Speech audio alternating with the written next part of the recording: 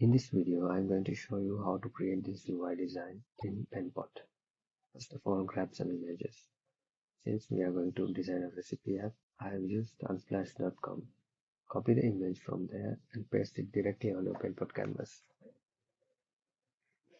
Do this for multiple images. I'll speed up this process. Now create a board. You can use B as the keyboard shortcut Give this a preset of whatever you like. I will choose iPhone 12.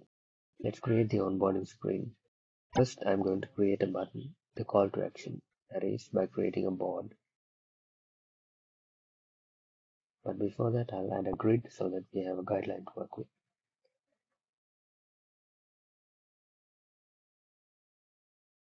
I'll make this a column grid and make it four columns. To show the grid, Go to edit view show grid. Now change the margin to 24. Adjust the button. I'll align it to the edge of the columns. Make the border radius 10.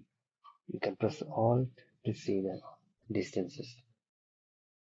Now select the text tool by pressing T and create the button text. Give it a font of Red Hat text of 18. We have to center align this. One easy way to, is to create a layout. Select the board and press create a layout and make it align and justify in the center. You can play with the settings to get a hold of what the layout will do for you. Now we are done with the call to action. Let's create assets based on this tag. Go to the assets folder and add a typography. I'll name it button text. Make sure you have the button text selected. Now we can reuse it later and I'll add the color as well. Select the board and then add the color. I'll rename it to accent color. Make the button a component. And rename it. I'll call it call to action. Let's create the secondary button. Duplicate this button by pressing ctrl D or you can right click and duplicate. Since this is a component and we have to change it First detach the instance by right clicking and detaching the instance. Now change its color. Give it 10% or 20%. Now go to colors after selecting the text and adding a text color. Now create another component and name it secondary button. We have to create the title text now. Type whatever you like and give it a font of inter type of 32 pixels and a weight of 600. Make it center aligned and adjust the width to fit the margin and decrease the font size. Now add the typography as an asset. I'll name this display text. Select all three, the text and the buttons. Wrap it around the board by pressing Ctrl Alt G or right click and selection to board. Now under constraints on the right, you can make the elements inside the board. Now under constraints on the right side, you can place the elements in relative to the board. So select all three items and make it center on both horizontal and vertical axes. Now when you resize the board, they will always be centered.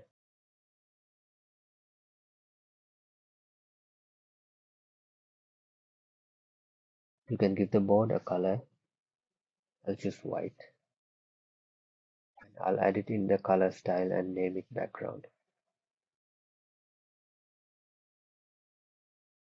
I'll just change the main background color for a different color just to visualize. I'll change the border radius of the card to 14 for top left and top right. We are done with that part. Now let's create an image background. I'll create a board as the image container. Copy an image from above and paste it inside this board. Now resize it. Now the image is inside the board. Duplicate the board by pressing Ctrl D and select the previous image and delete it. Replace it with another image. Do this for all the images. I'll speed up this process.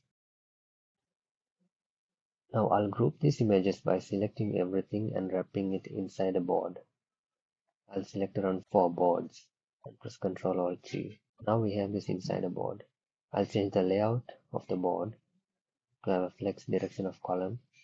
Now we have a column. I'll change the height and width to fit content so that it will fit all the images. Change the gap to around 8 Now we have an image container, a column. I'll remove the white background of the board. I'll rename it. Double click on the name of the board and you will get an option to rename it. Drag the image container into the main board. Bring the card front as well. I've repeated the process for other images as well. Now take it, now place it inside the main board and adjust, make it center aligned. Do this for the other one as well. Now duplicate one of the boards and place it in the corner. You don't need to create a separate one. You can just reuse the existing one. Do it for the other corner as well. Now let's give it a slight shade so that the bottom cards stand out. Create a rectangle and give it a linear gradient and make the black color to be at the bottom and the transparent color to be at the top. Place it inside the board. Now change the opacity to around 50%. Bring the card to the front and resize the rectangle. The onboarding UI screen is done. Now let's move on to the login and other screens. I'll create another board and give it a, an iPhone 12 preset. Now it's not hard since we have the assets created already. So duplicate the text from the previous screen and make it left aligned and rename it to login. Place it so that it aligns with the grid. Now create another text and let's make it the label. First unlink the style and change it.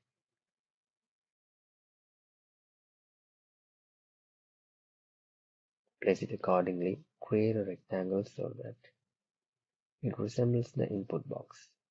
I'll give it a border radius of 10 and change its color. You can add this color to the assets library and give it a name of light gray. I'll select both and make it a component and rename it as input. I can drag it to create another input and I'll give this field as password. I'll bring in the call to action button. Meanwhile, I might adjust the text input height. Seems like the button text is too big, but it's easy since we have created a global style. We can simply go to the button text and make it 16 and everywhere it'll become 16 that's easy right? Now I'll create a text in the bottom.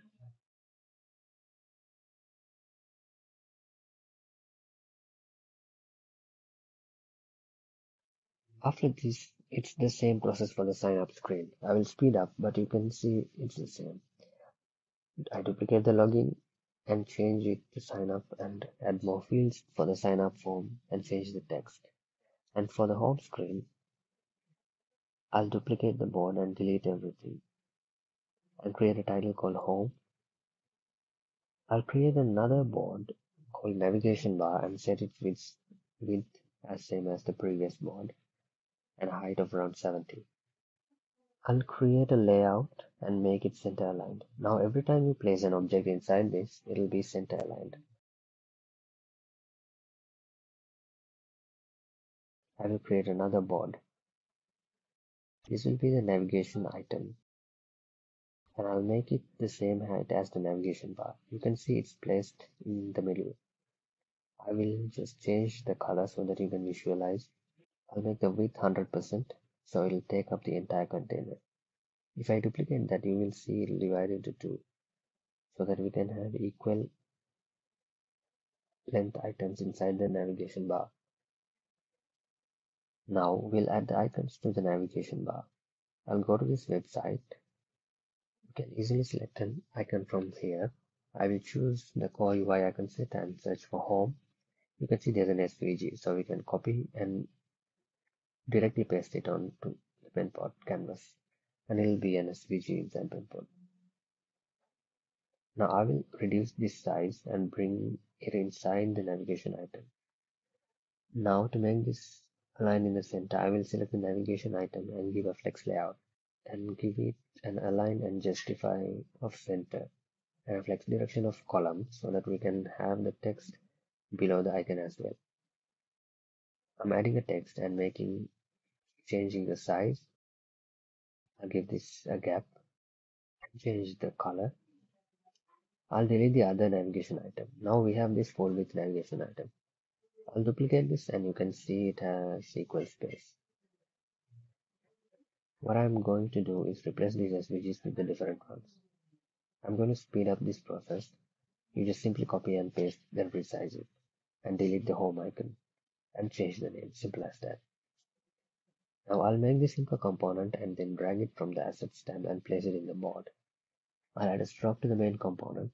I'll make it one and adjust the color to be a light color and if I update the main component it'll show a stroke in that.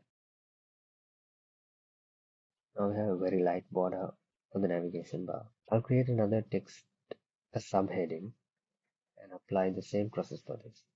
I'll speed up this process again. And for the recipe item I'll create a board. Bring it outside the container outside the main board and give it a background color. Predefined color from the file library. And give it a border radius and then add some text. You know the drill. It's the same process. I will copy the image from above and I will add it into the board and I will place it so that it won't hide the text. You can make this a component and add it onto your main board and duplicate rename and change the images.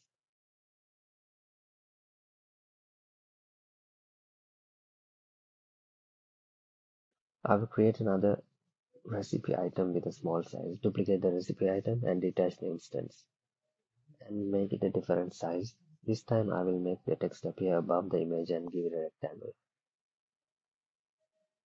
Give it a black background.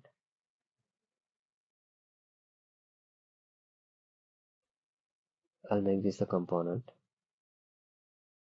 And I'll repeat this same process again. Take the component and duplicate and change the name and the image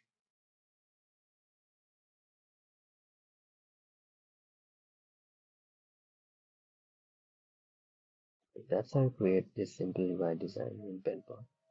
Hope you learned something.